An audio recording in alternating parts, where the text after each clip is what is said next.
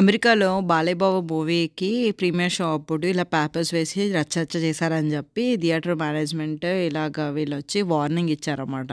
Warning ఇచ్చి ఇంక theatre theatre నుంచి బయటికెళ్ళిపోవాలని చెప్పి మూవీ కంటిన్యూ చేయలేదు. సో, ఆ వీడియో వస్తుంది చూడండి. ఇంగ్లీష్‌లో ఉండిందని చెప్పేసి నేను ఇట్లా తెలుగులో ట్రాన్స్‌లేట్ చేశాను Sorry.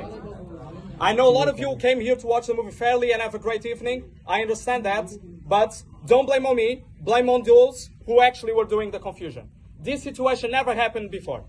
It's not the first time that we exhibit Telugu movies or any other Indian movies. But sorry, this is not acceptable. This is not acceptable. It's not the first time we exhibit these movies. We never had problems before. So I will ask you to leave, please. I'm really sorry, but I will need to leave.